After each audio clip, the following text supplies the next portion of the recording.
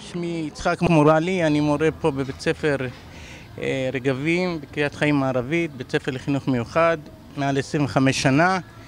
פה יש לנו חממה לצמחים שנבנתה מזמן בתרומות, ועם הזמן הרוחות והשמש הרסו אותה לגמרי וגם אה, נהרסה לגמרי. בעזרת אנשי רפאל ותלמידים ואני והמורה לחקלאות שאחראית על החממה בעיקר פנינה לואיס והעוזרת שלנו שולה שרייבר ביחד מטפחים את החממה.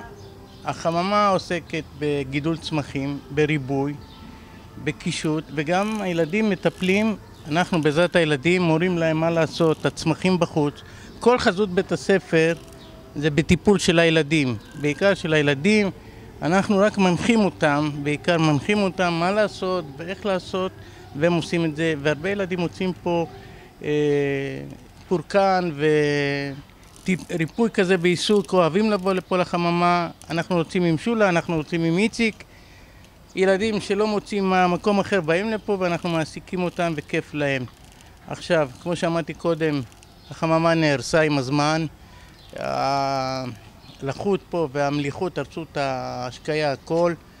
אז בעזרת אנשי רפאל שנתרמו עם האנשים שלהם המחלקה שכתובה שמה בעזרתם באו וחידשו את החממה